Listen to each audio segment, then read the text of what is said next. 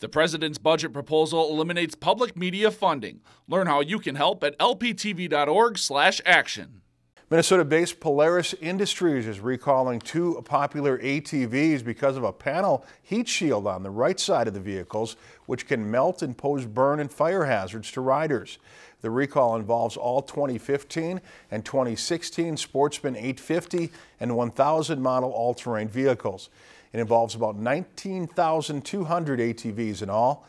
Owners have filed at least 793 reports of incidents including reports of warped, melted, or burned side panels, 47 fires, and at least four burn injuries. Owners can call Polaris at 800 765 2747 from 7 in the morning till 7 p.m. Central Time, Monday through Friday, or you can visit Polaris.com and click on off road safety recalls for more information.